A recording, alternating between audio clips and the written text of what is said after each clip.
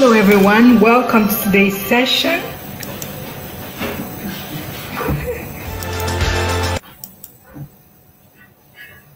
Okay, so I know you're supposed to be meeting Adeline Sede Kamga, but here am I. I'll be your co-host for the day. So while we're waiting for others to join us, we'll be playing some of our videos.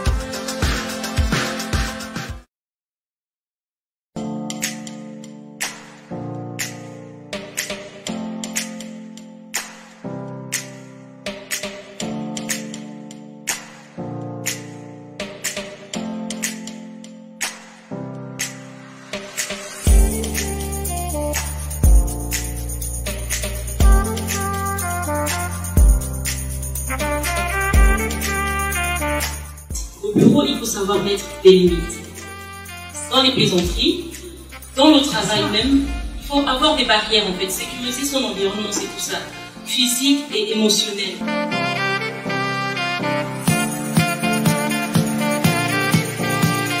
Tous ces diplômes qui se promènent de partout et que vous devez faire la différence parmi toutes ces personnes, il faut que vous ayez une valeur ajoutée. C'est cela qu'il s'agit.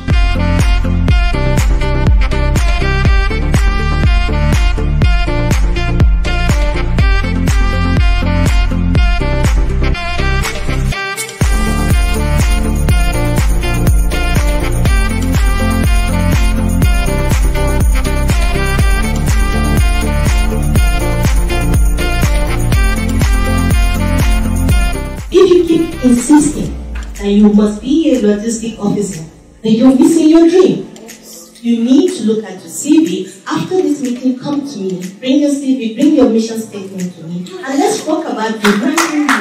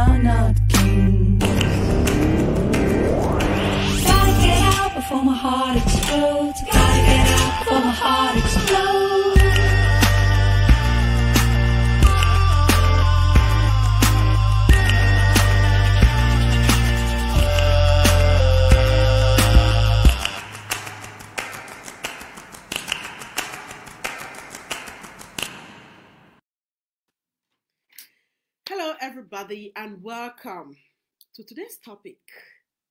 It's a different conversation from what we've been having because this is this is an area where we feel obliged. This is an area we feel obliged because so many things are going unnoticed, and sometimes people don't understand. Sometimes people understand, and there is nothing that they can do about it.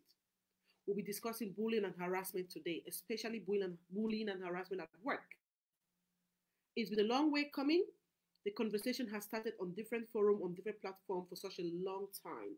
And we're just sharing, adding our voices to what others have been saying. There are so many things, you know, so many definitions, so many podcasts, so many documentation, so many research on bullying and harassment out there.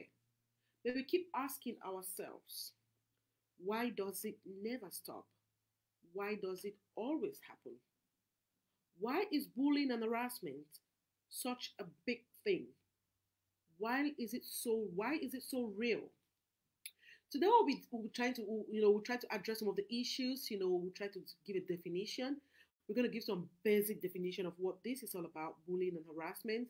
We're going to give definition. Uh, we're going to give you how you can identify it if you're being bullied or if you're being harassed.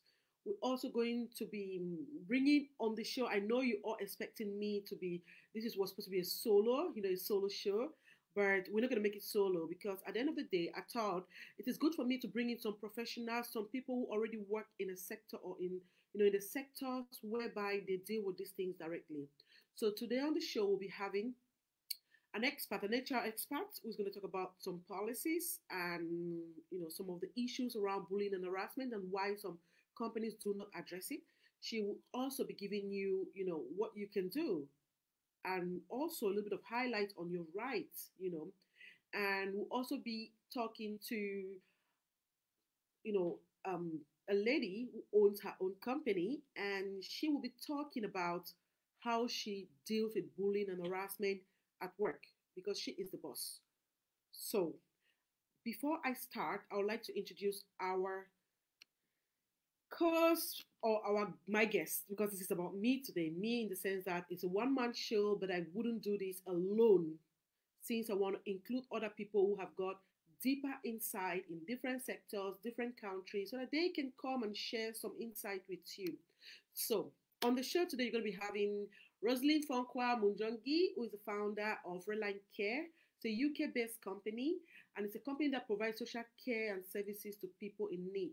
Now, if you know about this industry, you will understand that there is a lot that happens in in the care section. This is because most often people are either frustrated, people are unhappy, people are just outline bullies, you know, because they want to get their way around. So we thought she's the right person to come on today and try to talk about how she deals with this personally as an employer and how she is using the law to help her manage this.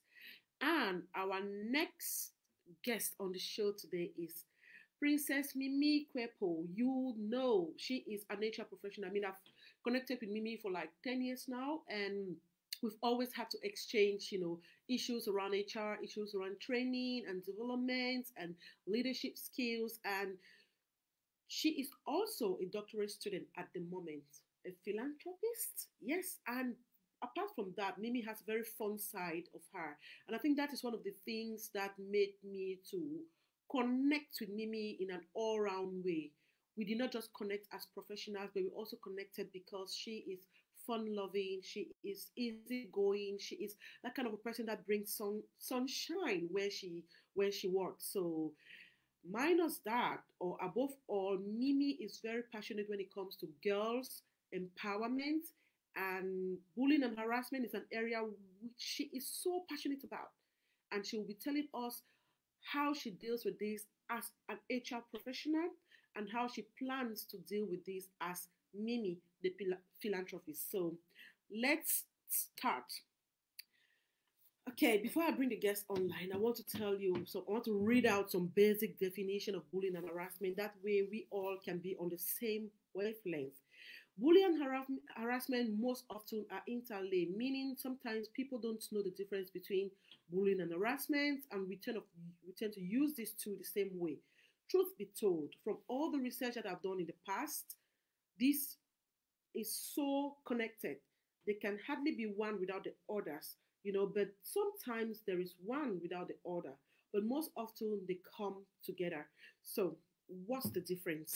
Bullying and harassment are terms that are used interchangeably, just as I said, by organizations, because sometimes it's so hard to divide these two things. And we always try to put them together because one can justify the other, just like I said. Harassment on one side tend to refer to a behavior, the way you behave.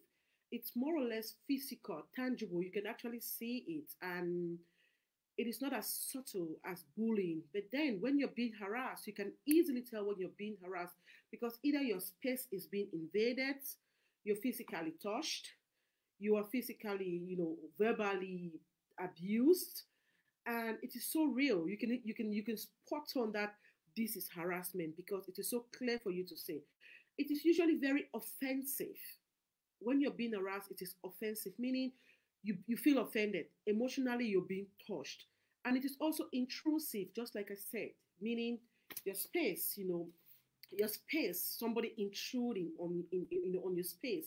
You know, this person is sometimes you say this is my space you know you can talk to me but please make sure you stay in a distance don't close don't don't come closer to me because this is my space sometimes it is sexual sometimes it is racial sometimes it's, it is physical most often it has all these elements you know the racial the sexual the physical but ACAS, which is you know the, the arbitrary body in the UK, ACAS would define harassment as unwanted conduct that violates people's dignity or create an intimidating, hostile, degrading, humiliating, or offensive environment. That is harassment.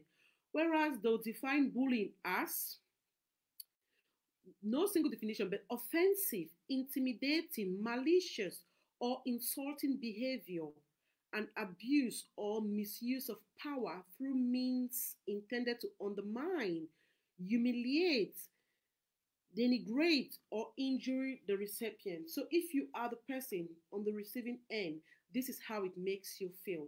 We've got a few questions that we need to answer with regards to bullying and harassment. And I'm just going to pop, you know, a few, I'm just going to pop a few questions so you see some of the issues that we'll be addressing today. We'll be addressing where does it stem from? Where does it stem from? Sometimes we say it's uh, when we're working, we say bullying and harassment, I'm being bullied. Why do you think someone would choose to bully you? Where does it really stem from? Let me tell you a small story. You know, as parents, or as I don't want to say as parents, but as people who live in this world, when we start our primary education to our secondary education, to our university education, there is always this one person or this group of person whereby we point finger and say, "Ha, Jack is a bully, Peter is a bully, Adeline is a bully." Right from childhood, we do understand when we're being bullied, or when we do, we can identify when someone is a bully. But at that point, we can hardly use the word harassment. We will normally say, "I'm being bullied at school." Sometimes the institution do not deal with this immediately. The family of the of the bullied person does not deal with this. Or the person, the parents of the person who is a bully, just keep a blind eyes. Personally, I would say bully can stem from childhood. That is where it all started. Because as a young person, once you identify that you have powers. You could be physically strong, you know, huge, big. And there is this other person who is not physically much, you know, a little bit not as big as you are, or it's not as popular as you are. You're going to use your influence because you have more friends. You have more people who are your friends at school. You are the, the hyper man or the hyper woman at school, and everybody want to be in your network. You will use your power to bully and at that point, the person who is being bullied will find it so difficult to report the fact that she, he is being bullied. I would say bullying stems from childhood. These are some of the things that as a child, if your parents, you know, realize that you have a bullying attitude, they should try to stop that, to curb that, because if not, you are going to grow from primary education, secondary education, university, and then you're going to take it right at work. So I'll say bullying really start at work. Some schools you can notice or you can identify harassment. Yes, you can. But sometimes we don't call it harassment because it normally ends with the words, you know, with all the tension, with all the threats and all the things that you have. So I would say bullying stems from first childhood, you know, that's where it stems from. And then I'll also say it also stems from wanting what another person has, you know. Say for example, at work. Sometimes you just see how competent competent someone is and you want to put that person down. You want to you want to do things that will demean the person and make the person really lose confidence. Because sometimes when you don't have confidence, you can't perform. And when you can't perform, you're no longer the star at work, isn't it? So bullying is all these things put together, but then again, it is more. We want to talk about the difference between bullying and harassment. And I've just explained that sometimes we can't we can't see them, we can't identify that we're being bullied, you know, or we're being harassed. But if I can read, you know, from my research, I will tell you what I found out. Harassment has a strong physical contact, you know, component. For example, contact, touch, intrusion of personal space, damage to possession, sabotage, or target of, tab, of target work. So when you're sabotaging, just like what I said.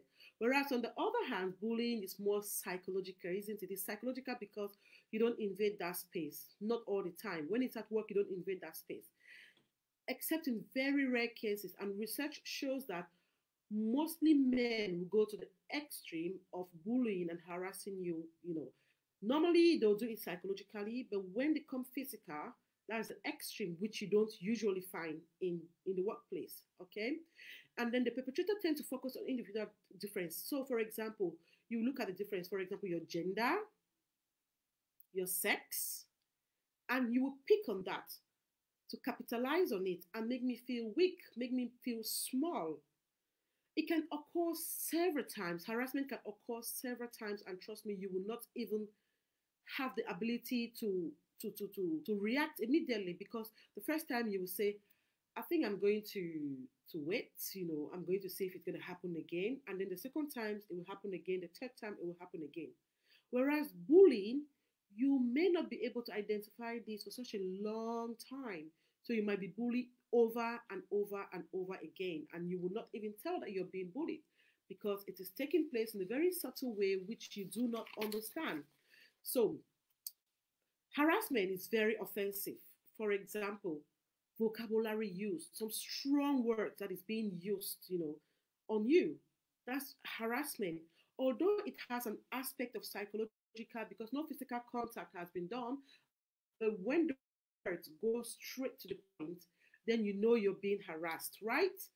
Harassment can take place in public because sometimes people just um, sometimes people just decide to harass you because they can't hold their emotion anymore. They can't bottle up their emotion and they tell themselves, you know what, I'm just gonna do this because they want to humiliate you in front of everybody. Whereas bullying usually take place in private because people want to bully you, but they don't want any proof. So they don't want any proof, you know, they just want to bully you so that you don't have any records. Usually it will take place in private without any witness. So that if you tell someone that I've been bullied, it's going to be difficult for that person to say, okay, where is the proof? I can't see any physical, you know, struggle. I can't see any marks. I can't see anything. But that is exactly how it is. Now, how do you identify if you're being bullied or harassed? identify. I will say two things the shoes that you wear. The shoes that you wear, you alone can tell where the pinch, isn't it? You can tell where those shoes pinch you because you are the person feeling it. Personally, I don't think you can tell someone I feel that person is being harassed or I feel that person is being bullied, except you're very close to this person and you've realized or recognized some changes in the way this person behaved. You've recognized some changes in the way um, the person speak. You recognize the way this person reacts when someone comes closer to them, and then you can say, "I think this person is being bullied. I think this person is being harassed." Few years ago, this was like five years ago, we were being, or I was one of eight women who were being approached by the United Nations to talk about peace and security in Africa. This is part of the agenda, treize vingt-cinq, uh, which is um, peace and security. So we are trying to see how we can use our platform as women in the media to promote peace and security and to raise awareness on how people can people can you know um, promote peace and how people can be secure. So when I looked at the theme and I looked at the mandate, I told myself, yes, this is a very good thing, but although we were being asked to look at the community, to look at um, the, the conflict zone, and to collect information that shows that in this area where there is conflict, there are a lot of women who are not at peace, who are not secured, and we were also asked to look for recommendation how can we support these women to make sure they understand the supports that they have in place, which will help them to have a much more peaceful life, a much more secure life? What I decided to do, my team and I, is we decided to create different seminars because we have identified that in Africa in particular, there are lots and lots and lots of bullying and harassment at work. In the Western world, this is a little bit different because we have policies, we have procedures, but in Africa, there are lots and lots of bullying, there are lots and lots of harassment, and in most cases, people don't talk about it. So we decided to use our platforms, we decided to, to raise our voices. So we've been to Cote d'Ivoire, we've been to Senegal, we've been to Cameroon, we've been to Gabon, and we've been holding seminars online. One of the key topic of what we've discussed was bullying and harassment at work, and most especially sexual harassment at work. We cannot stress it enough the kind of issues that women go through because of their gender. I think women are the most bullied, although some men are bullied and harassed as well. But I must confess that based on the research that we've collected the, in the last five years, women are the most bullied, be it at work, be it at home, be it in the community. And what is it that you watching us today, what is it that you're doing to help stop this? What is it that you're doing to help raise awareness? So we've created this platform whereby we've invited corporate leaders to come and speak about how they do curb this, how they do sanction and bullying and harassment, how they do manage this at work. Because sometimes we, we see a woman who have grown right up to the top of her career. She's a director, and then we keep saying she only got there because she's pretty. She only got there because she slept with this person. She only got there because, because, because. How long are women going to be made a token? I mean, I, I I'm not going to call the name, but one of the research we carried out was in a bank, and this bank showed us that more women are branch managers. You know, more women. This bank is in Senegal. More women are branch managers, and when I asked the the HR director, why is it that more women are branch managers and not men? And do you know what he said? He said, Women have got this earth around them. Women have got this exciting look. Women are attractive and they're going to attract more clients in branch. I thought that was the dumbest thing I've ever heard from an HR director. And I felt really disappointed because we don't know why we are promoting women to branch managers. And another thing that he added was women are less likely to steal money from the banks. How can a woman be placed in a position of power because of the way she looks? Because she can attract men, because she can keep the money safe. This is not a conversation that we should be having in 2000 and in the 21st century, but this is the conversation that we're having. And I'm I bet you it's not just in the bank. I think it's a lot of um, front-facing, you know, roles.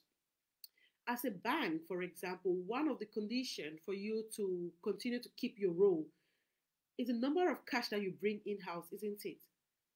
And we can tell that we have more rich men than women, isn't it? And if I want a rich man to bring in his money in the bank, What is it that I have to do?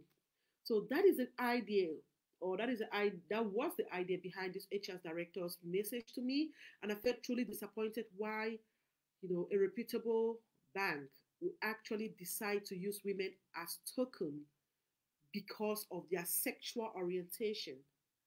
And I can tell how much bullying and harassment has gone in that. So, this is a time for us to understand that it's not just about the way we look, but it's about the competence. So, back on the topic bullying and harassment, how to identify. How do we identify if we're being bullied?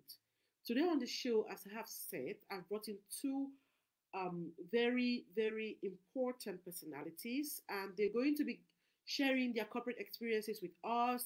They're going to be telling us, you know, the different things that we need to do. Some of the other questions that we're going to be addressing today. Um, has bullying always been present in the work, or has it recently gone worse? And another question that we'll be asking or that we'll be answering how do you handle bullying generally, especially in the workplace? How do you handle this? Another question we'll be answering what can you do if you are being bullied or harassed? What is it that you can do in your capacity, in your powers? Another question that we'll be answering what are some policies and solutions to workplace bullying? Solutions, solutions, solutions. How does bullying and harassment affect quality of work done and productivity? We'll also be addressing what are the impact of bullying and harassment on the mental and physical health of people. Now, we had to address the recovery and re-empowerment after bullying and harassment, you know, but we thought this is a whole topic on its own because we have been speaking to some psychologists and based on the conversation that we've had, we realized that the one hour 25 minutes that we have on this show is not going to be enough for this particular topic to be covered. So we're going to leave this for next time.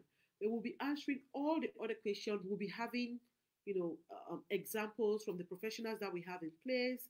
And I'm going to start by popping Mimi on the screen. And if you're just joining us, I want to tell you who Mimi is. So, Mimi, she's a lot more. But in the meantime, she's an HR professional and a doctorate student, philanthropist, and she owns Kilimanjaro Group, a real estate and entertainment company in New Jersey, in the US. And also, what I said earlier was that I have known Mimi for you know, over the last 10 years, we connected through the social media and we've met in person. And we connected first because we were Budi HR practitioners. If you're just joining us, my background is HR. You know, my background is HR. I've worked in the HR, HR domain for um, over eight years, and I've also run the corporate awards, which is which is HR focused, over five years. So if you have to put all this together, I've got over um, five plus eight. I'm not very good with my math, but I'll tell you that's 13, isn't it? Yeah. So I've got over 13 years in an HR environment, and yeah. so I think I have the authority to say some of the things that I'm going to be saying today. And of course, the guests I'm bringing on have also got the authority. So I'm just going to pop Mimi up and she will introduce herself in her work capacity as well. Hello, Mimi. Hello. How Hi, are Adeline. How are you? Hi, Adeline. How are you? I'm great. Thank you, girl. Thank you so much. I know I didn't give you enough time to, to, to prepare for this, but I'm sure this is something that you discuss every day at work. So, what we're trying to establish today is we're trying to establish a few things about bullying and harassment. And from, a, from an HR perspective, we want to tap into your expertise, see how you deal with this at work, see how you can, you know, you can tell us some of the policies and how you as an HR practitioner um, implement these. We also want to find out um, what you advise and how you identify or some of the signs that you've had reported to you of someone who is being bullied. So before we actually start, I would love you to introduce yourself to our audience, or maybe I need to welcome all those who are joining us. Thank you, Goretti, for joining us. Thank you, Judy. Thank you, Etel.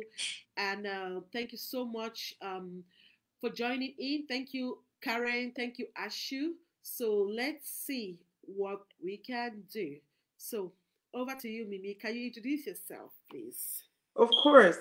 So um, thanks um, for, for having me. So um, thanks um, for for having me. There's an echo. There's an All right. Okay, I'm just gonna mute myself. There we go. So um, again, thanks for having me, and um, thanks for such a great initiative, Women in Corporate Leadership. I think um, this goes to speak to um, what we're trying to do in our community and how we are trying to shape or sort of create a path for for the women of tomorrow who are our daughters today. So for the most part, um, it's interesting how you know I'm an HR person, but I'm always, um, like you said, um, very happy, happy-go-lucky to to to a fault. But I'm Mimi Kwepo, um, known as Princess Kwepo because I married an amazing prince, and um, I am in the HR space.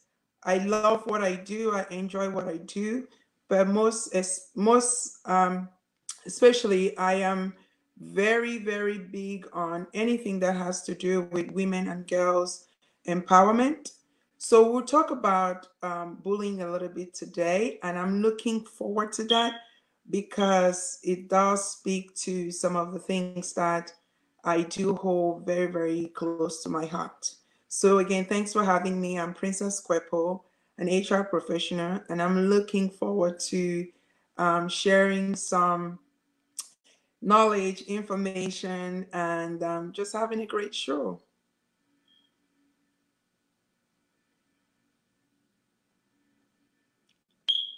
That's it. That's it. Okay, I'm just gonna put myself back on the screen. Thank you so much, Mimi. This is a conversation which, as we were speaking today, we, we should we should raise our voices. We should talk about it. We should encourage others to talk about it. Tell me, how do you identify, or what are some of the signs that have come to you as an HR practitioner? How can people identify if they're being bullied or harassed? I think, we, Mimi, for the sake of this conversation, we're going to try and put them together, just keep them together, bullying and harassment. But if there is any place that you want to differentiate both, please do feel free. So, so let's talk about bullying. What is bullying, right? That's the first so, thing. So let's talk about bullying. What is bullying? I'm right? That's the first thing. Echoing. All right. So, what is bullying? To me, All I right, would say, so as an HR what is bullying? professional, To me, I would um, say as an HR bullying is basically a form of abuse, um, right? bullying So, is basically oh, a form of abuse. I'm echoing.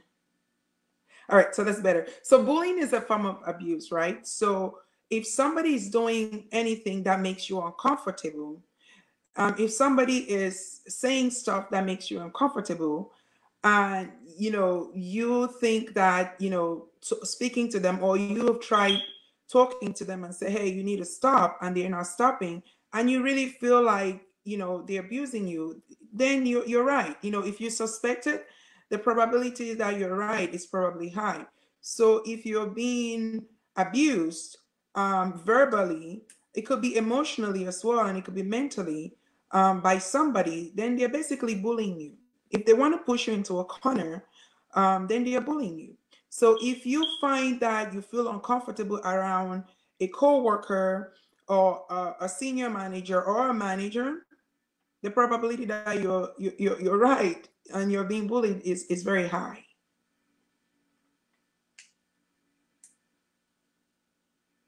Will you say the same for harassment?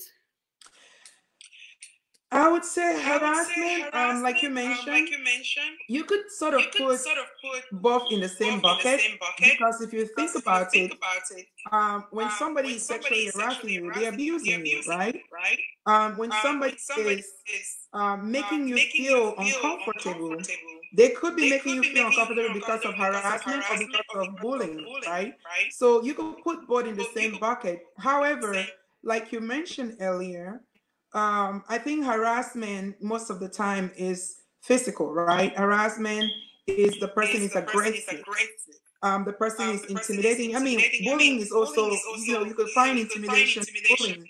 But when somebody is aggressive, it's in your face, it's in your face, they're harassing you.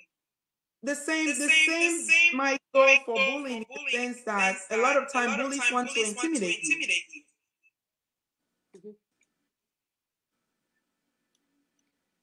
So, so tell me, Mimi, at work, you know, at work, is this something that you see a lot where you work, or is this something that you see a bit? Do people actually come up to HR? Is this cases that you deal with at work? Do you deal with cases of bullying and harassment? You know, in, I know you're in the third, first world country, and sometimes you say it doesn't happen in England, it doesn't happen in America, it doesn't happen in Paris, it's only in Africa. Is this actually present at work in the workplace? So, I unfortunately, bullying is everywhere, right? right? At work, at home, at schools. Um, but I have to say, in the Western world, bullying is more is present, just as it's present in the in the third world. And I must say, 66 million of workers report of being bullied every year. So think about it. It's everywhere. It's around us. Um, in this, in the Western world, or in the USA, or in Europe, people do report bullying a lot. a And I think that's something that, as HR, we encourage because you know if we do not encourage people to speak up or people to complain, then we end up with a working environment that is not conducive for production or for productivity.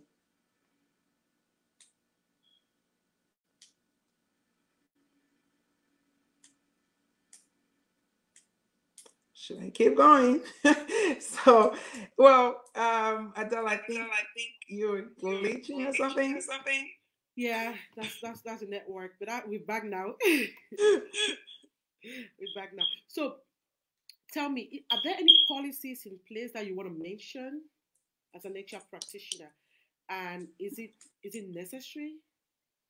So I would say, as a person, I would say, if you feel bullying at work, there are steps in most companies that you, you could follow to address bullying at work, right? right? Usually, I would say start off by speaking to your manager and then maybe proceed to speaking to maybe your HR business partner.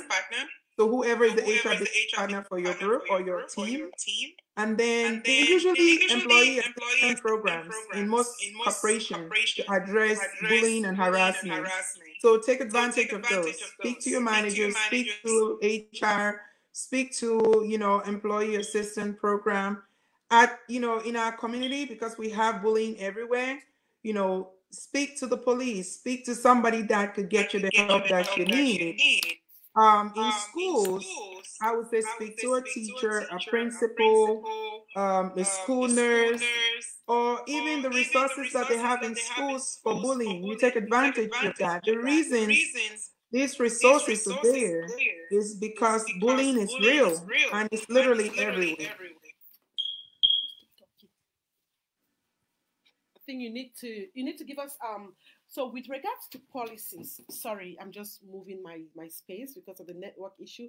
With regards to policies do you get the policies from the state or is it just a nice to have that your corporation decided to put in place? And why was this policy implemented? If you do have one in place why was it implemented? Was it implemented because it's law or was it implemented because it's nice to have or was it implemented because the, the, the cases of bullying and harassment had become too strong in the workplace? I think, most companies, have, um, a bully, or harassment, policy. Um, most corporations make sure that they implement this because when you are dealing with people, the probability that you're going to deal with harassment and bullying is very high. And corporations spend tons of money every year dealing with um, harassment, bullying cases, cases, right? right? So, So the policies, policies are are there because companies companies implement them. In my implement them. case, I know that every company company worked I've for worked always had a always had a harassment and harassment bullying bullying policy. policy. And I And I also also think think in the US, the US, even even states states level, level, there there are are posters posters that that employers employers are, are, are required to put on the wall um, to um, make sure that the working environment is safe and is free of harassment.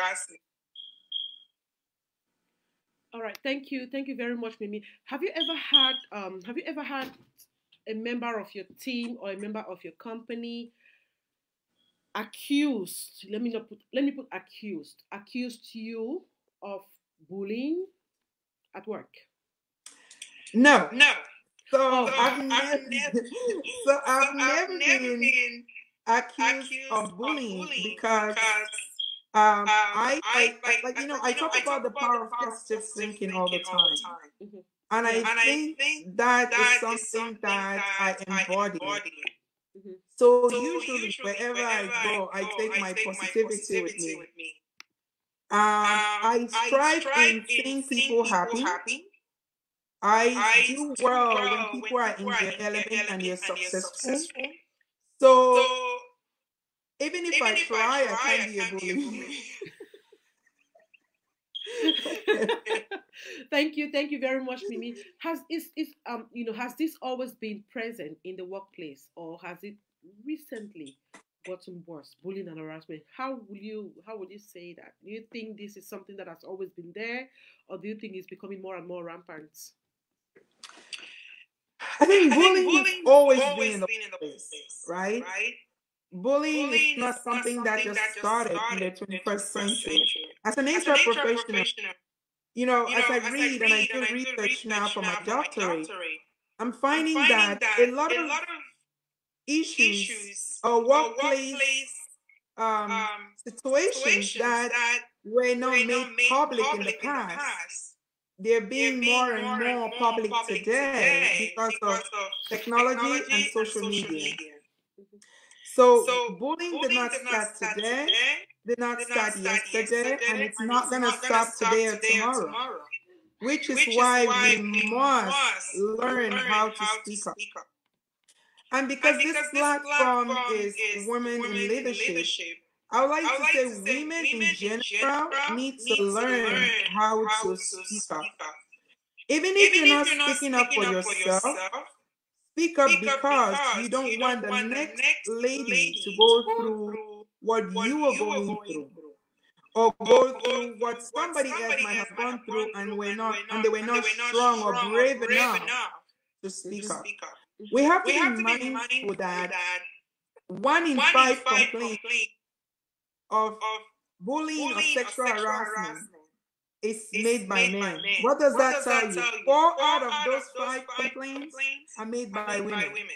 Mm. So, So as as women, women, we we must must learn learn how how to to speak speak up, up, make make our our voice voice heard, heard, and and address some of address some these of these issues issues because because they're not they're not going going away. away. And they And will they will affect affect us in us the in long the long run and run and affect affect everybody everybody else that else is that is around around us. us.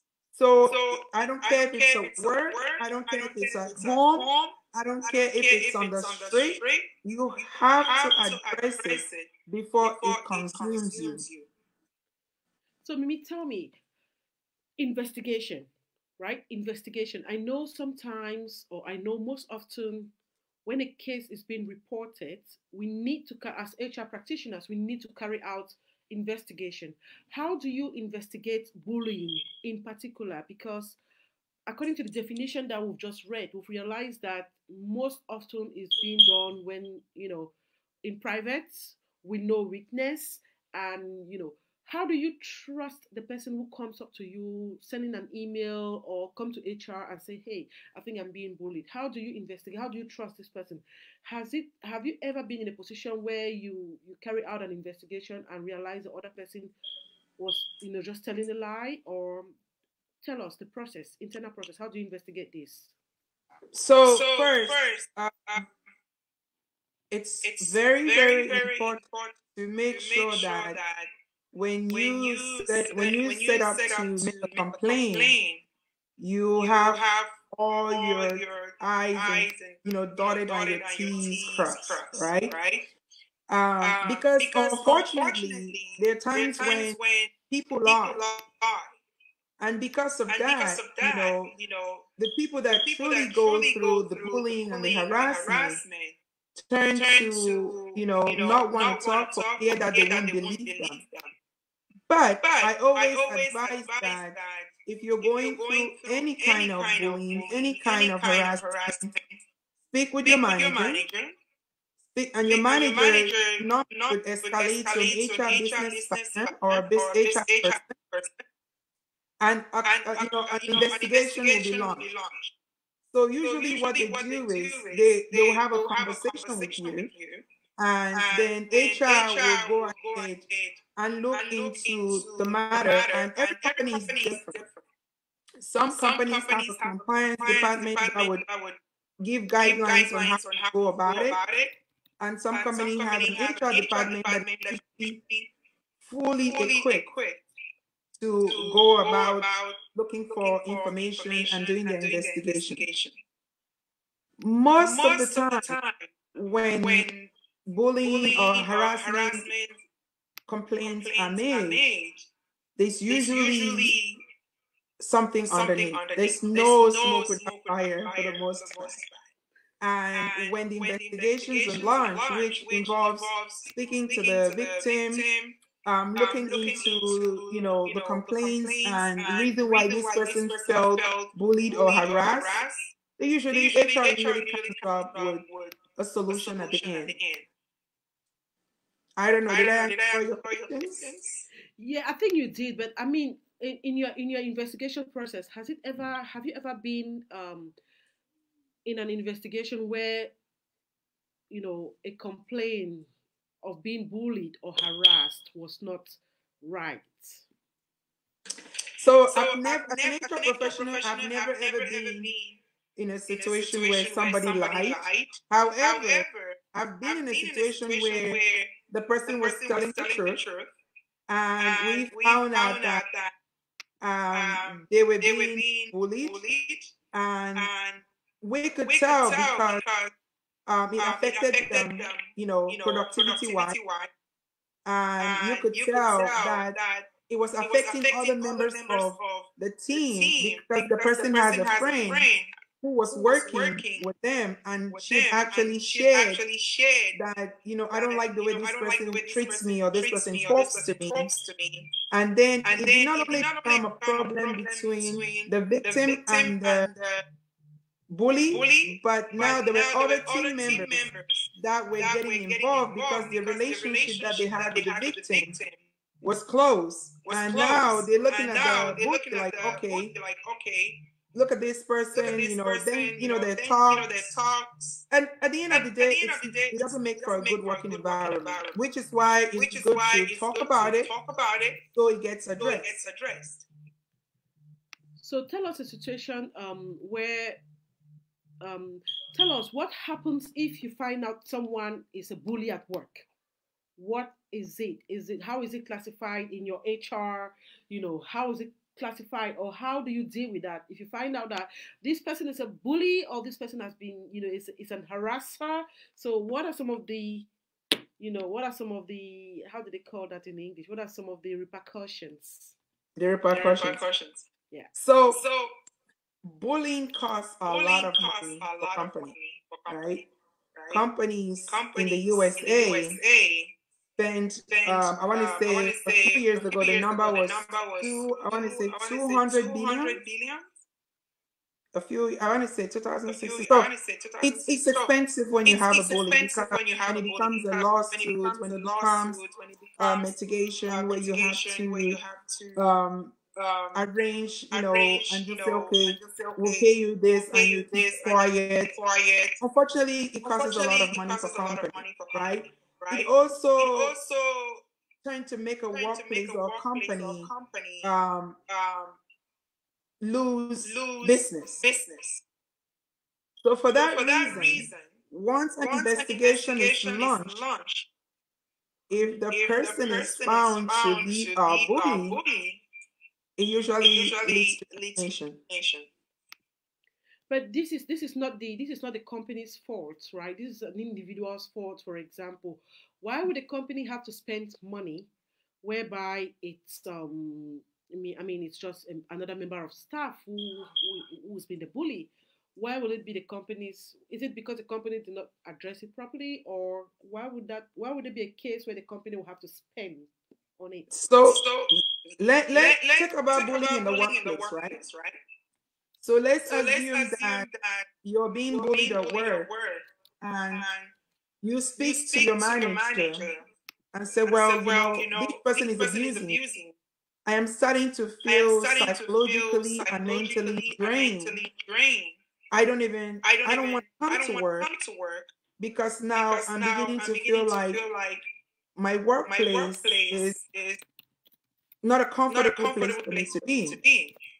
At that At that point, point, if the if the manager manager doesn't doesn't address it, address it, the the HR person HR doesn't person address doesn't it, address it, and let's and say in a rare a rare case, case that that leads to that person person harming harming themselves, themselves, it becomes it a becomes a company company problem problem because the because the company company should have addressed it addressed it when the, when the victim victim brought it brought up. it up.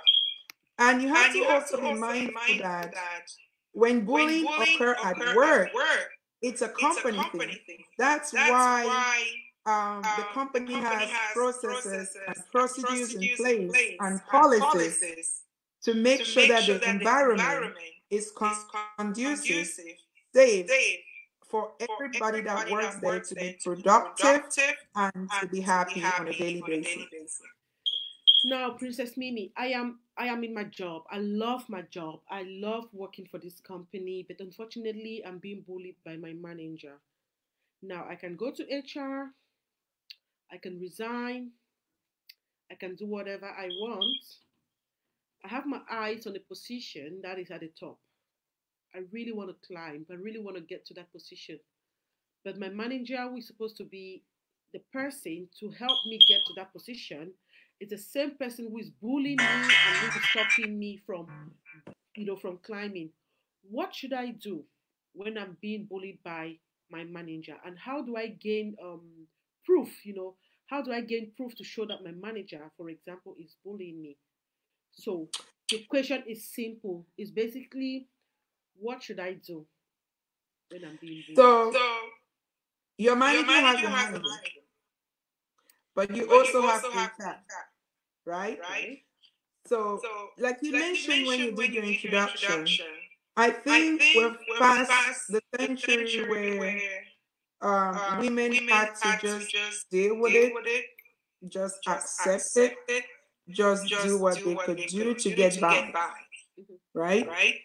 Most Most companies companies have have systems in systems in place. place. As a As matter a of matter of fact, fact, you could could actually make a make a call call without without even saying who you are anonymously on anonymously on 800 800 numbers, and an And an investigation will be investigation will launched. be launched. And And if that if is that is found found true, true, actions will be actions will be taken. taken. So, So going back going to your back to question, my my manager is manager is harassing me. I have I my have my eye eye on a on a position at the the top that I know I I could make can it make it because I have I what it have takes what to be takes to be successful in that in role. that role. My My question question again is is why why should should you change yourself? yourself? Because Because somebody somebody has self-esteem issues. Because. I Because I believe believe most people most that people bully are dealing with with personal self-esteem issues. issues. Mhm. So So you are are responsible for responsible for you, you, and you are responsible for your happiness and your mental state. and you are So the responsible for your right thing happiness to and your do mental state. is to So the speak right thing to to an HR business partner, an HR business and you partner, have the right to tell them that and you one have the right to tell them that just between the two of you just because you you are worried about how your you manager is going to about how your react. manager is going to react. You can You also can look also for look for employee assistance employee program assistance within your program within company. your company. Most companies Most have companies them. have them. At times At they are linked they to are linked to HR. HR. At times At they are linked to corporate to corporate culture culture um, um, groups. groups. And you have And a you have a conversation with the conversation with the person person and say, and say, listen, listen, this is happening. happening. I would like I would for like you to you to give me the give me the resources I resources I need need and help me navigate navigate this this particular particular issue. issue.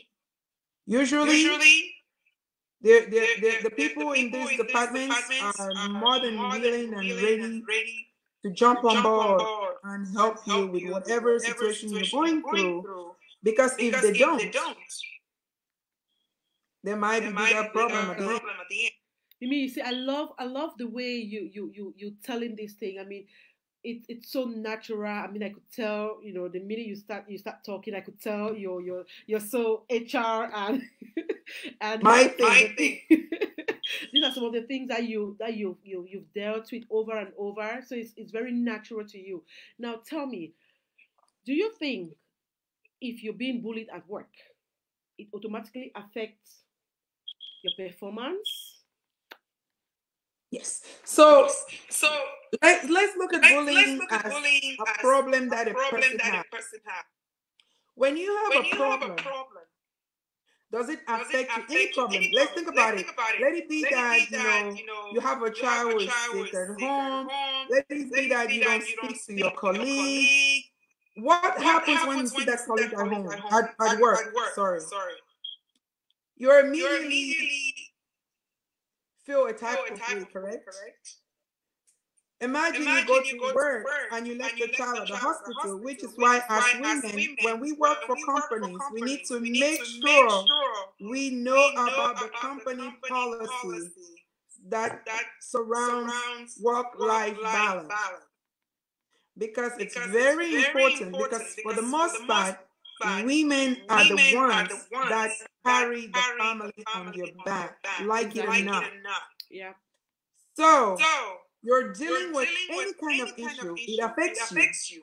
So imagine dealing with a bully a at work. at work. When you When start you start worrying worrying about, about, oh, oh, maybe I don't want to go to the maybe I don't break room because the break he or she because is he or there, she is there, or I don't want to um, get up from my I don't want to get chair up from because my maybe he's standing behind maybe he's me. standing It behind affects you me. not only It affects mentally, you not only but it affects your but it productivity. affects your productivity. Because the time the spending you are to think spending about how think about you're going to navigate the, the, the the, company the, the restaurant company or dining restaurant or room dining room or the or the the, the the, office the space office time space. you could have invested in time you could thinking about how to better do your job to better do your job. So productivity is definitely, you know, definitely definitely at play. Definitely. So would this be the same as um, a kind of psychological damage at work? Because you know, when we when we sign in a contract to work for for a company, we have the you know we have the, both the, the the the actual physical and the psychological contracts that we sign, and especially if you're being bullied by your man someone from the management team or your manager would you say the psychological contract is being broken in the case of Yes. bullying and Yes. harassment? yes Yes, and that's and why that's why companies companies, going back to going your back to your question question, Mhm. your your question that's question, why that's why companies companies ends up being the being the ones ones spending the spending the money money when when bullying and bullying harassment harassment occurs occurs. because if you Because if think you about think about it it, once once you're you're emotionally emotionally impacted by impacted by bullying bullying, or or you're you're in any in kind any of way kind of way physically you know you know, affected affected, it might it end might up to end up to depression depression, right right? whether you like Whether it or you not like it or not, starts it starts affecting your affecting your behavior behavior towards other towards people other people, right right? it could It could be be um um, the next the person close to you at you work work. it could It even could be at be at home you come You home and you're just down down because because had to you've deal had with to deal all with this all this abuse abuse or or harassment harassment at work at work. so So my my take on take it on it is, ha- which which every every company should have should a have a zero zero tolerance on tolerance on bullying bullying and abuse. and And abuse. if you are And if being you are being abused or abused being or bullied, being bullied, you you have to have to speak up speak up because the sooner the you sooner you address it, it, the better. the better. Thank you, Mimi. I'm just going to pop you uh, on the back end for now, but I'm going to bring you in the last um, 10 minutes so we can talk a little bit about sexual harassment in detail or in, Oh, Lord. Lord. picture before we know we, you remember the the next conversation is going to be sexual harassment this is the general sense so but we're going to touch into that a little bit just before we go but i'll pop you in the back end and then i'm going to bring rosalind in the front end and then i'll bring you in in about 20 minutes if you have time so that we can just quickly talk about that sexual harassment introductory part before we we we we, we, we well, we introduce that sexual harassment bit before our next session. So for now, let me get you off and let me bring Thanks. Rosalind. Thank you All so right, much. thanks. Great insights. Okay. Now, ladies and gentlemen, thank you so much for joining us. We're talking about bullying and harassment at work. This is a big picture bullying and harassment. This week, we're talking about bullying and harassment, but the next conversation is going to be about sexual harassment, gender based harassment. So, right now, I'm going to bring in Rosalind. The reason why Rosalind is joining us today is because she runs a company. And we keep saying companies should do this, companies should do that. And bringing someone who owns her own company is a kind of we're just asking her how accountable she is, you know, on bullying and harassment, how she manages it, how she identifies it, how she deals with it, how she identifies, and then we're gonna bring Mimi again on the screen, and then we'll talk about the sexual harassment, and then we'll close for the day. So I'll pop in Rosalind. Hiya, Rosalind. Hi, Adeline. Hi, Adeline. How are you? I'm fine, thank you I'm fine, are thank you. joining us. Yes. Rosalind Fonkwa Munjongi is the managing director of Reline Care, and I have a little bio of Rosalind, which I'm just going to read the introduction and then I'll let her tell us who she is. Rosalind is the founder, managing director of Reline Care. It's a London-based care company and that provides special care com- uh, special care services. She has a degree in business management and IT and a level five leadership management. She's also an activist who raises awareness on sexual abuse and other form of gender-based violence. Rosen is also the founder of non-governmental organization called Voice of Hope, based in the UK and in Cameroon. Apart from that, she's a filmmaker, and if you haven't watched it yet, please do go to Amazon. Just click on Breach of Trust, and then you will see this movie that has been produced by Roslyn. This movie has recorded a lot of success, won a lot of awards, touched lives, and changed lives. So I'm just going to pop Roslyn in. Hello. Hello. Hello. Tell us about you. Right, I think you said it all. Okay, Redline Care. Tell, tell us about Redline Care. What kind of a structure have you got at work? What kind of a structure have you got? Right, Reline Care is Well, a Reline um, Care is care a company. um, care company. We provide We domiciliary provide care domiciliary care services and training. and training. And um, And um, basically, we've been we've in business for like the last like eight last years. eight years. And And yeah, we yeah, are. we are. We're We're rolling. Rolling. so, Rosalie, we're talking today about bullying and harassment. As someone who has her own company and who employs loads of people around, not just in the UK, the UK and also in Cameroon, tell us, do you think there is bullying and harassment at work? Definitely, there Definitely, is there is bullying and bullying harassment in every workplace. workplace. We just have to um, um, put put whatever we've whatever got we've got in place to um, make um, sure that we minimize minimize this this from coming up. Coming up. I know we, we've, we've discussed bullying and harassment. Mimi and I have discussed bullying and harassment. In your own words, if you have to say something very little about bullying and harassment, how would you say it? Sorry. Sorry. Yeah, so um, I think Mimi actually said it all. It's mainly really about um, making someone feel uncomfortable, kind of taking their dignity away from her and making it from them, and making them um, really, basically, it's really making people feel uncomfortable. And it comes at various levels. So obviously, I'm sure we will explore that in the course of the program program. Okay. So at let's work. talk Yeah. Work, yeah. at work. Okay, let's talk about um let's talk about identifying. You know, sometimes you work with very vulnerable people and sometimes you're not you, you you're usually not on the field with with your with your staff, you know, Yeah. Yeah. office based and they're out there. How do you deal with bullying and harassment? How how does it come to your attention in your office space? Has there been, you know, have there been any bullying and harassment that you want to share? And how did you deal with as someone who owns their own company? Okay, I would answer Okay, I would um, answer both um, both questions. So questions. So obviously, I've got a lot of I've staff working on the field. on the field. We are in, in the are office. in the office. So the way we So get to know we about get to know bullying and about bullying and harassment is harassment through is through reporting. reporting.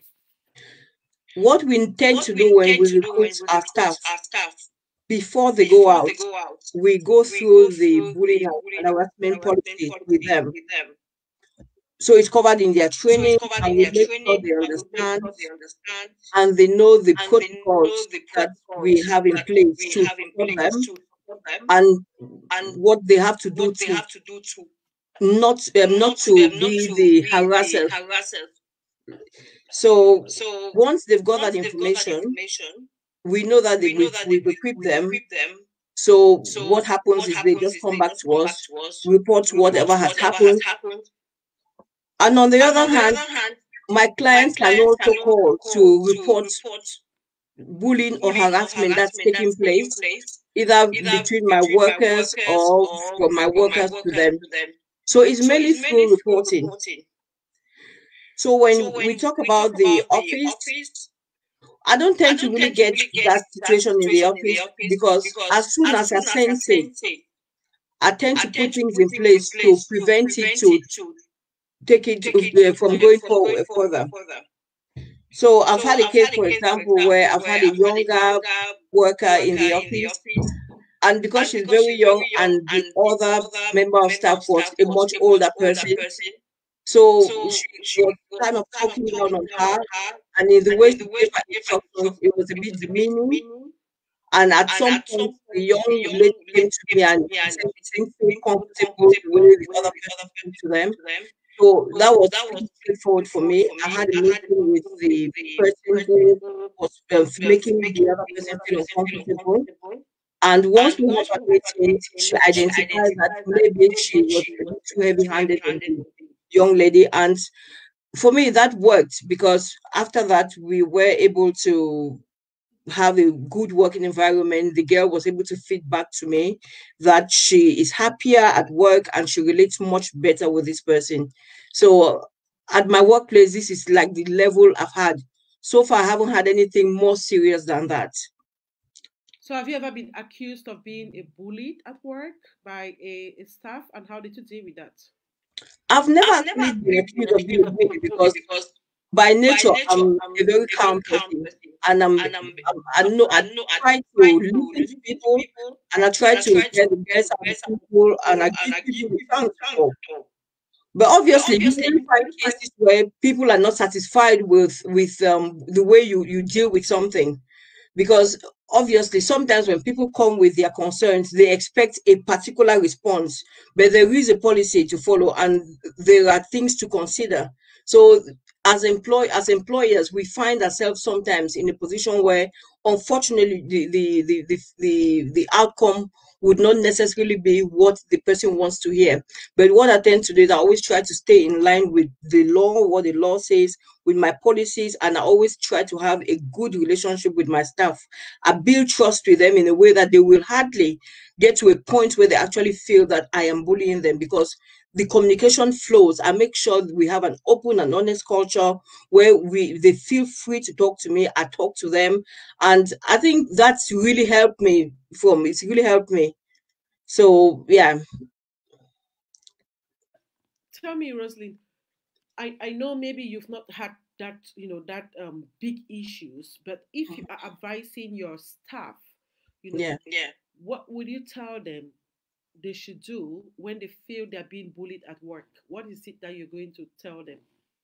The first thing we do before they go out, we give them a staff handbook, and in their staff handbook, our policies are clearly outlined out in there, and the procedure is in there. So we obviously tell them that they need to be able to identify the different signs of bullying, and form sign form, and they should know the different forms of harassment. So even in training, we cover all of these because someone might go out to work and not actually realize that they've been bullied or they, they've been harassed at work. So it's important for us to make sure that all our staff know what the signs are so they can pick it up when they when they're out there. And we we also do this because we expect them not to do the same to clients or to their colleagues. So for us, this is what we do. We instill this knowledge in them and we tell them what the guidelines are. And when you're signing your contract, you know that you're signing a legal document which includes an anti-bullying and harassment policy. So obviously you they know that if it happens there will definitely be repercussions. And obviously, they know the disciplinary procedure. So they know that it's closely linked. If it's upheld, then obviously we go down that road.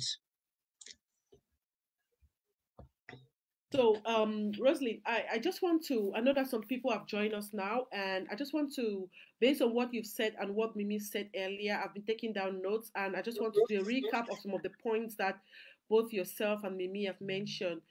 Um, when someone feel they're being bullied, the first thing they need to do is they need, they need to stay calm, they need to stay firm, and they need to try and keep up their a confident appearance because if someone feels that you are not you know confident or you're not comfortable they're going to keep doing it right yeah. so the second thing is you yeah. need to as Rosalind just said you need to understand the policy and also understand your role in the company meaning your job description you need to check what you're supposed to be doing so that if there is something that someone is pushing um, pushing to you and this is a part of what you're supposed to do you have a right to either do it or not do it and you know what to do after that. So if you suddenly for example find yourself doing um, maybe i can say menial task or being given an increased workload on shorter deadlines and it's not in your contract and this is coming from your manager according to mimi you need to you need to make sure you you you, you approach them you know immediately. You call the helpline you, you, you go to the HR or you speak to your business partner because this might be a sign of bullying. Um, Mimi also said you need to try and get witness to bullying, you know, incident because sometimes um, people need to to believe you. You know, she also mentioned there is no smoke without fire, but then we cannot just base all our we can't base all our facts on the no smoke without fire. So, as someone who works in an environment where you might be potentially bullied, it is it is you know it is important for you to make sure you keep any documentation, keep email look for proof as much as possible so that when you go to speak to the um, to speak to the HR business partner or the, the school council or the, the work counselor or the helpline that you have in place, you'll be able to say this is a proof that I have. This is an email. This is a tone that was used because this is not usually physical. This can come in the way you sound, your attitude, your body language, the tone that you use. All these can constitute part of that. And Mimi also said, Rosin has just mentioned as well that you, you it, it is um, you should take um, you should be trained. That it is important for you to be trained. So the the company has to train the staff, and HR need to allocate the right training because sometimes, as as I was chatting this morning with Mimi, sometimes people don't understand that they are bullies. You know, we don't understand that we are bullies. We're just doing things because maybe we want things to be done. We really don't go out to say, I want to bully that person to do what I want. But you just do these things, and then at the end, you find yourself doing it over and over without knowing that this person is actually in pain, in stress. So Rosalind mentioned and Mimi mentioned that we we have to we have to undergo uh, we have to undergo um, a stress management course, you know, so that we'll be able to to manage the whole thing without really breaking our nerves. And also, we need to be assertive. We need to be assertive um, about our environment, so we can take that training as well. Moreover, in order for us to to to ensure that we are psychologically healthy, you know, we we have to make sure the environment that we work is is free of bullying Meaning, once you spot that someone is bullying you, you need to first, as Mimi said, and as Rosalie said, talk to the person. There's always a procedure in place. Talk to the person, get the person to understand that what they are doing is affecting you psychologically. Because once you do not talk to that person, they might not even be aware that what they are doing is affecting you psychologically. So it is your place, you know, as a colleague and co-worker to talk to the person. Worst case scenario, as Mimi has said, get emotional support. Get emotional support from your family, from your friends, from your company. And in some cases, as a national prof- professional, I'll advise you, you can take off sick. When you feel that the stress is too much, the pressure is too much, write to your HR, tell them you feel stressed, you're under pressure, and you want to take you know, a, a leave. You want to take a sick leave in order to deal with all these things that that's that's that's you know that's worrying you. Now, Rosalind, tell me, do you think without the um, the um, Anti-Bullying and Harassment Act, would you, as an employer, have put something in place to help stop bullying and harassment at work? Do you think this is something you would have put? And do you think you would have done it differently? I mean, I think in my field, I would definitely have had something in place because my staff tend to work out and they go into people's houses. So anything could happen in there. And the thing is, if I don't have anything to protect my staff, I don't if I don't have anything to protect the people I work with, it puts me in a very difficult position. So I would still have gone ahead and put it in place just so everyone works within guidelines.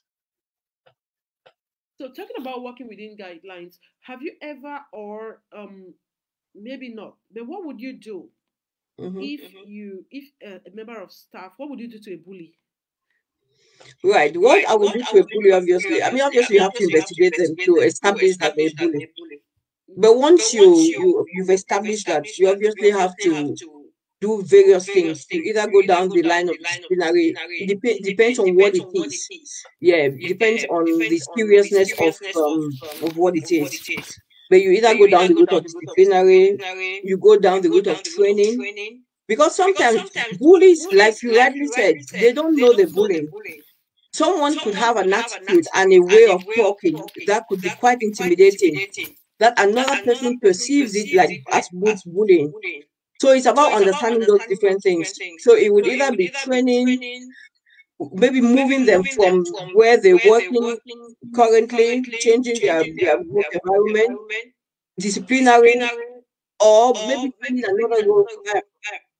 Or worst case scenario, dismissal. All right, thank you so much, Rosalind. I mean, Rosalind is checking in from London and she owns a company in the UK if you're just joining us. And I'm, I just want to find out how she deals with bullying and harassment at work and if she's ever had a situation and how she dealt with it.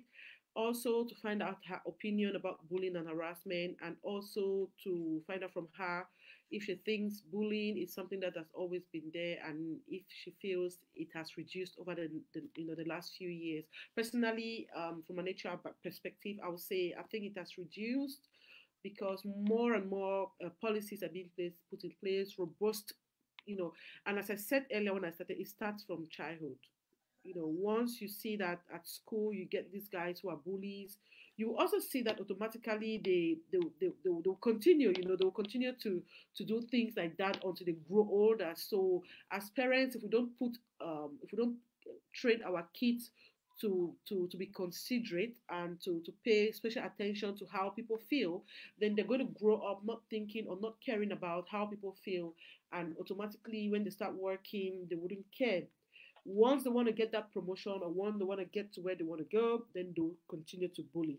Mhm. And Rosalind is the director of Reliant Care, and the speaker before Rosalind has been Mimi Kwepo. I'm going to bring back Mimi on the screen because I wanted to talk a little bit, an intro on sexual harassment.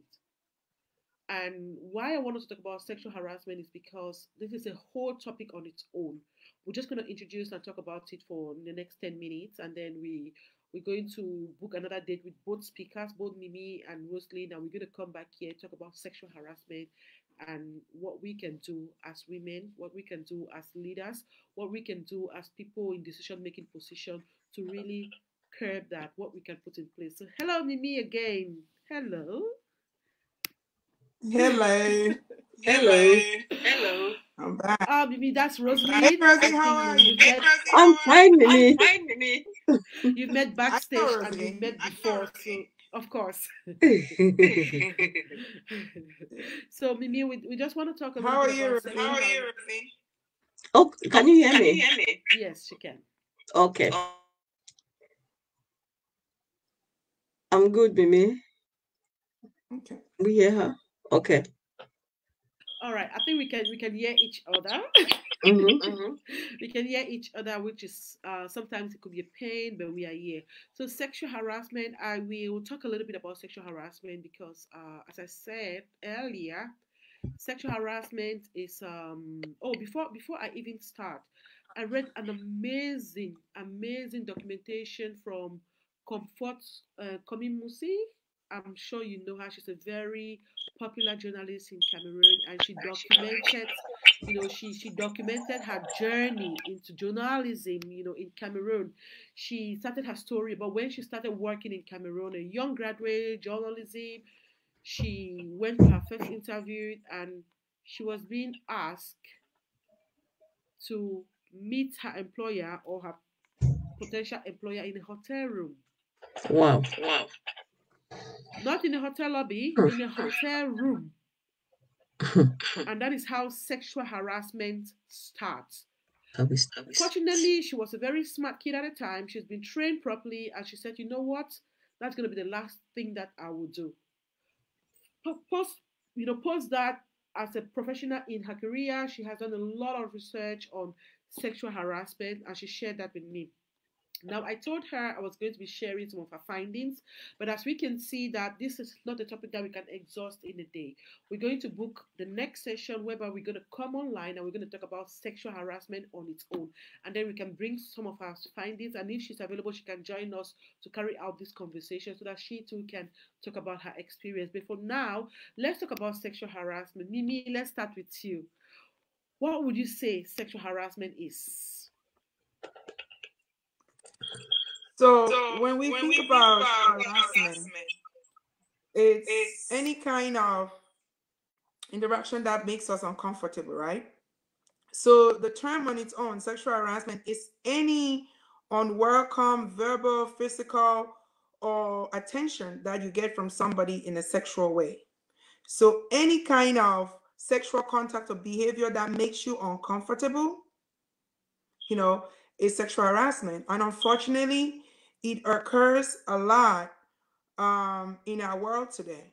So um, if it's uncomfortable and you know it has to do with sexual and you don't feel like you like it, you're not you're not enjoying the attention, you have to speak up because it could also be by way of somebody talking to you, the kind of words and body language. So if you find that anything is unwelcome verbally or physically, you have to know that if it doesn't feel right, it's not right.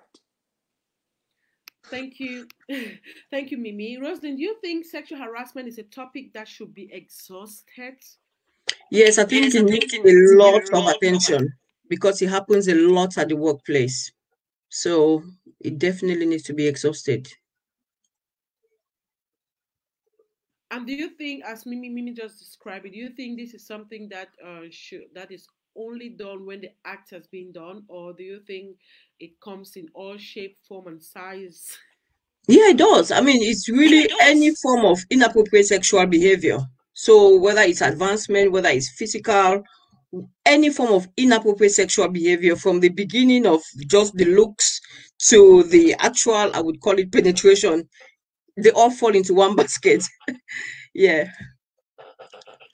So, um, Mimi, why do you think, uh, or how do you think we can? I mean, this is just an insight into the conversation we'll be having. This, how do you think we can we can deal with um, with with sexual harassment in our community at work? How do you think we should deal with it? Should we deal with this as we deal with any normal harassment, or should we deal with this like differently? I think, I think um, um sexual harassment, especially in our community, it's something that we need to deal with it very harshly, right?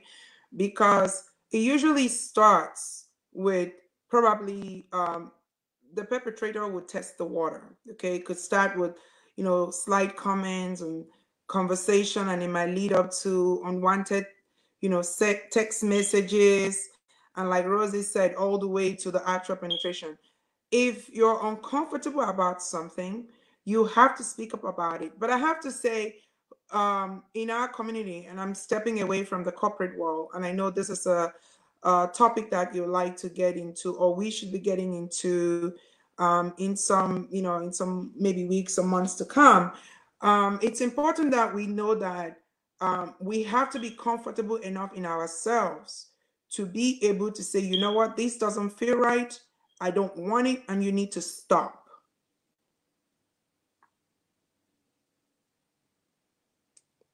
I think, I, think that's, I can hear you. I can hear you, and I think I, can hear you too. I need to be need serious. To be serious. you are very serious. What you're saying makes a lot of sense. Now I I'm, know I today have we- my HR face on. Yeah, put on your HR face. so you think you think this is, this is something that we need to take seriously? This is something that we need to address. And Mimi, we were talking this morning, and you say you don't think we we we we, we address this enough. So how would you how do you think our conversation for the next two weeks? How do you think it should go like? What do you think we should have in place in order to have this conversation? Do you think we should bring in um, people who've been uh, we, uh, people who've been uh, how do I put it sexually harassed? Or do you think we should just have the basic conversation for now and carry on with our plans as we've, as we've discussed on the phone? So, um, let me speak as an HR person, right? Yeah. So harassment, is, a topic, that it's very, delicate, right? Right? Sexual, harassment, is even more delicate. So, it's usually very, difficult for victims, to talk about, it. However, if you want to get a background information and know how, there is nothing as good as hearing it from the horse's mouth. Okay. So, if we find people that are willing to talk about their experience, that might not only empower them, because now they're taking the power from their victim, um, from their perpetrator, and they're becoming they're becoming strong victims of speaking up about their experience. But it's also going to help others that are maybe thinking, is this sexual harassment? Is it not? Um, am I comfortable? Am I not? Because then they can ask questions to a person who is has lived the bad experience of harassment. But I think for the most part, our conversation this morning, conversation this morning, we I talked about I talked about our community, our society, and how we deal with harassment, and how forever um, women have taught that the best way to climb a ladder is by using your sexuality. We have I have a problem with that because we have very, very intelligent women, intelligent young ladies in our community and in our society. And instead of us taking advantage of the brains that we have, um, we've just decided that we're just gonna live in this um, society and in this norm that makes us think, okay, because I'm a woman, um, all I have to do is be beautiful, right? I've had people say to me, oh, you're doing a doctorate? I'm surprised. I said, why? Right? Okay, just because I am beautiful, just because I love having fun, that doesn't mean I'm not smart. That doesn't mean I cannot be a very, very productive person. As a matter of fact, probably more productive than most men, right? But because we are growing up, or we grew up, or we live in a world where we are expected not to be anything more than a beautiful face, um, it affects the way we behave, it affects the way we reason, it affects the way we we interact in our community. And I'm saying in our community because I had told myself that once I'm done with my doctorate, and I told it this morning, even if it's for free, I would talk about women empowerment. I would talk about sexual harassment and not putting up with it. I would talk about using your brain and not your body. I would talk about excel as a woman because you are smart, not because you lay on your back. There's so many things that I think when I'm done with this doctorate, I want to do. And I want to do that because I have looked um, back and why I personally haven't been a victim, but I know of so many victims. I know of so many women that are so smart, yet they sold themselves short because they grew up in a culture where their brains really didn't matter, right? So instead of using the brains and making a difference, they just decide to say, okay, this is the society norm. I'm just going to be a part of the norm. So that's something that we need to walk away from. That's something that we need to step away from as women, as people. And I think it starts with the women knowing their worth. It starts with the women knowing they're, they're they're beautiful without somebody else telling you you're beautiful. And I joke at times, people say you're beautiful. I say I know, right? and it might come across wrong, but there's nothing as good as looking, in, the mirror and liking, what, you, see. There's, There's nothing, nothing as beautiful, beautiful as looking in the mirror, mirror and saying, you know, what? I know I, know I deserve, better. better. I know, I know I'm worth there is nothing, as great as looking in the mirror and saying, you know what, I am in control of my body and I'm in control of my head. So, so I think, I think amazing. I think those two if points. If we can get people that have been wanting to talk about this, it'll be priceless. But I believe that as a community, we need to talk about these things. We need to drive it in. We need to drill it in so that the girls that are coming up, the young girls that are growing, they know that hey, I could be the owner of Fab Magazine because I got what it takes. You know, you know I could I run could a company, company like, like Rosling because, because I got, I what, it, what takes. it takes. I could be, I could a, be doctor a, doctor if I want because, because I have, the, brain. the brain. We, we, shouldn't, shouldn't be about, about oh, oh you're, beautiful. beautiful. So that's, so that's why you made it here. here. You know, you know let's, let's let's start let's working, on, on stepping, stepping away, away from, from that, that society, society norm that is not so normal. Not so normal. So um, thank you very much, Mimi, from from from from your you know your presentation. What I've gathered should be an absolute, you know, should be an absolute point of our conversation. Should be how we can be who we want to be. So mm-hmm. sometimes we spend our entire time saying we should be this, we should be that, we should be this. And we don't really hammer on the how. So if you're joining us or if you're going to be with us, you know, in two weeks' time, please do bear in mind that we're going to be talking about how you can actually look at yourself in the mirror and say you're worth it. We're going to be giving you some of the key things, some of the characteristics that you need to develop to help you look at yourself and being great and feeling great and being happy. We are also going to be talking about the psychological damage of not being confident Peace and security at work, we will talk about that as well. Psychological, we, are going to talk about that. So in two weeks' time, we've, we've set the date already. In two weeks' time, we're going to be talking about sexual harassment, especially. So we'll take it from the mental, the psychological, the physical, and the how you can really overcome that and we'll also be hammering on the effect. So, Rosalind, if you have a word to say, we would like to wrap up with you. oh, sorry, I think I've got your mic muted. Oh, okay. Am I back on? Yeah, I think um, Mimi's message was very strong. Girls and women need to know that they need to value themselves more they need to really, really preserve themselves and be able to say no to all this. So I think there's nothing much more for me to say because Mimi has basically said it all. So I'm very excited to be part of this discussion. And obviously, I'm hoping that um, everyone's going to join us in two weeks' time so we can just carry on with it. You're on mute. so actually, this conversation. this conversation happened because eh, eh, this eh. conversation happened because the team at Faberfreak told Madam, you know, you're always talking about bullying and harassment. You're always talking about peace and security at work, psychological effects, psychological damage. I think most people out there, women out there, really would like to find out more about this. Why don't you talk about this? So I said, okay, this week I was going to go on a one man show. It was going to be a solo show about me just talking about my experience back in HR, my experience as a company director, my experience as a businesswoman, and the kind of sexual harassment that I've received in the last 10 years since starting my, my business.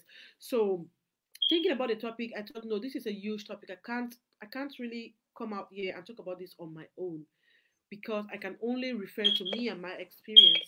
So I decided to hook up with Mimi yesterday, really, and I told her, Mimi, I know you, your your HR, you have you, your background is HR, and we've always talked about policies and procedures, and we've always been talking about these HR things. There is this issue of bullying and harassment that I really want you to come and spend 15 minutes of your time to talk about how you do it, the policies. And she was like, Oh, Adeline, I think I'm passionate about this because this is my plan. I'm looking at starting, you know, a free service whereby I'll be advising women how to identify and taking care of, you know, not being bullied, not being harassed, especially the sexual harassment. And then I also spoke with Rosalind just today, and I told her, Rosalind, I, I know you have a company in, in England, and it will be good for uh, somebody who owns their own company to, to give an example and she accepted to come on. So this was really a kind of short notice um, live that we did, but I'm sure those who are going to watch after this will, will gain a lot from what we've just said. Please do make sure you share the links and together we're going to come back in in two weeks time. Uh, Rosalind and, and, and Mimi are going to be here with me and we're going to exhaust sexual harassment on its own because we couldn't really talk a lot about it today because it's a very big topic and it's a topic that you know that involves a lot of people. The kind of people we're looking at we're looking at young graduates we're looking at um, young um, workers we are looking at people who um, oh we're looking at people who have been bullied who would like to share their experience and i think someone just said i was bullied months ago and although i enjoy my current job and my boss is supportive i still have the nagging feelings that i'm not good enough and that people think i'm a failure. Why is this and what can i do about it? Wow ram says that's a very that's a very um that's a very i don't know if someone one of you girls want want to want to want to reply to him you know. That's deep. That's deep. That's deep, yeah. Yeah. Yeah. I think this is the consequence. Yeah. Oh, sorry, Mimi, you want to go? Mm. No, go ahead. Go ahead, Rosemary. Yeah, yeah. I was just saying these are the consequences of um of bullying because it follows you everywhere. Because it gives you the feeling of not being adequate, it gives you the feeling of constant fear, and you just lose your confidence. So these are really the problems. So it's important that um, this person gets to speak to, if there's an HR department in their organization, they can speak to them. They can also go to other organizations, independent organizations who can provide support in their community. I'm not sure where they are. Yeah, so if you can just source independent organizations as well if you don't want to go through your company to, to discuss, discuss this, then you can get a bit of counseling because you definitely need to build your confidence and, and find a way to move on. Yeah. yeah. yeah. All right. So I'm just so gonna add a little bit to what um, um Rosie just said. Um, um it's Ramses, right? right? Yeah, it's Ramses. So, so first, first thing, thing, it's not, it's not you. you. The problem, the problem is, not is not you. you. So, so you, you shouldn't, shouldn't say you are a failure, or you or shouldn't, shouldn't think, think you are a failure. I, find, that, that as an HR, person, person when, when somebody, somebody is bullying or harassing, harassing another, another one, one, they have, they their, have personal their personal self-esteem. Definitely, Definitely not you. Not. So if you love and enjoy what you're doing, my advice will be speak to your HR business partner. And if you say your manager is supportive, start by having a conversation with your manager. Let your manager know this is how you feel. You let your manager know, I love working here. I love reporting to you. However, I have this experience that I would like to share with you.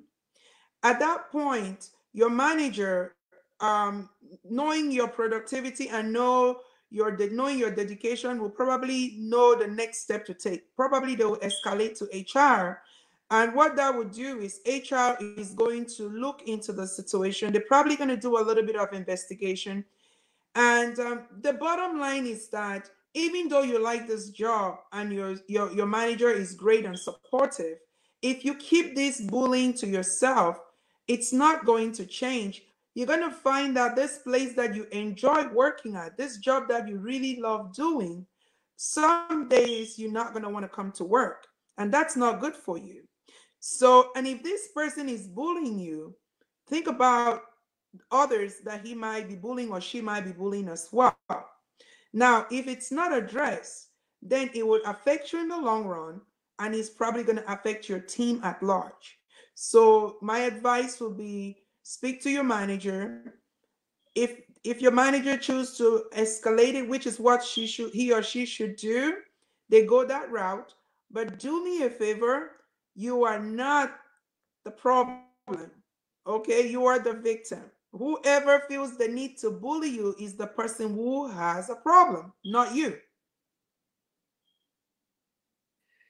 Wow, thank you so much, Mimi. Ramses, I hope your your your question was answered. Speak to your manager and also look at your I think sometimes, Mimi, it's it's always important for you to, you know, if I feel I'm being bullied and I'm being considered a failure, if I write it down, you know, I write the things that make me feel because sometimes as I as we've all we've all agreed that we might not really um people might not know that they make us feel uncomfortable have you approached them? Have you told them?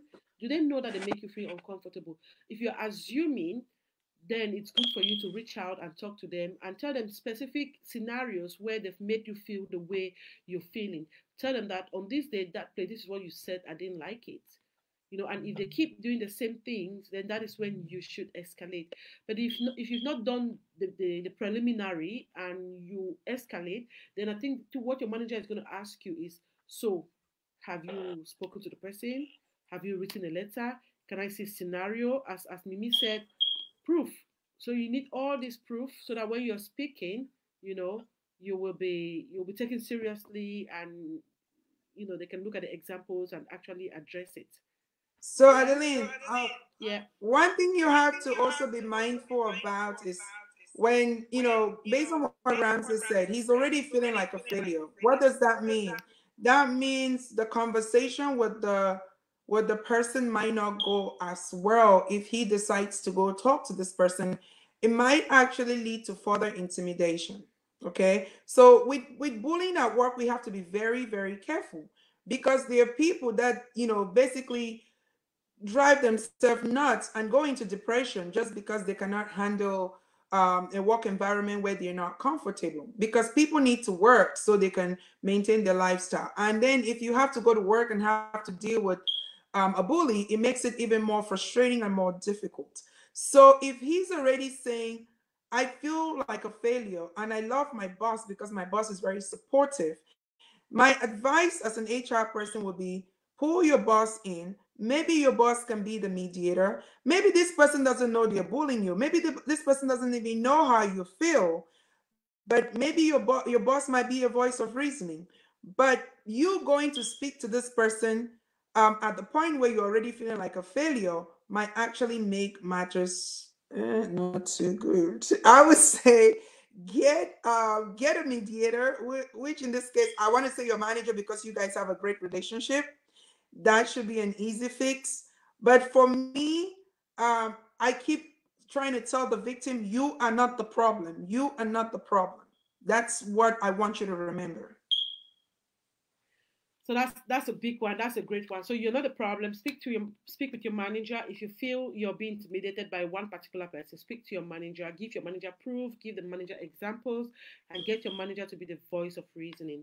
So I think that is that is amazing. Thank you so much, ladies. And this this this has been better than I ever thought. You know, talking about bullying and harassment, yay! But talking about bullying and harassment, people who actually have the the you know the expertise to who actually work in an environment where they can give practical advice, practical solution, that is even better. And that is why in two weeks' time, Thursday, two weeks' time, we're going to come back and we're going to talk about sexual harassment and we're going to talk about what we can do as leaders to really, really eliminate or play our parts, you know. And ladies, remember the power of positive thinking. You're in control of your headspace. Definitely. Control of your you body. are in control. So we are going to end our live. I mean, I think we still have one minute, but you know, but that if we have one minute, so if we have to say something in one minute, we'll just say, make it a date in two weeks' time come and listen. Sexual harassment, come and see if you, I mean, if you've been a victim, please do reach out. And even if you don't want us to to, to bring you on screen, we can share your scenarios. I mean, we'll be reading lots of scenarios. So yeah, we're looking forward. So thank you again, Mimi and Roslyn. I'm gonna pop you girls. Thank you for having us. Thank you for having us. Seconds. Yeah. Okay, thank you so much, guys. It has been again a pleasure to host another session, this time around bullying and harassment at work. Next two weeks, we're going to be talking about sexual harassment. But next week, we have our regular Corporate Women in Leadership Summit, which we're going to be talking about um, I mean, we're going to pop the topic on the page. Mm-hmm. I've got lots of topics coming up, but we're going to be popping this, the topic on the page. But yeah, next week, we'll see you next week, Thursday. In the meantime, I'm Adeline Sedekamga, founder, CEO, Faber Free Media Group, Corporate Women in Leadership. Bye.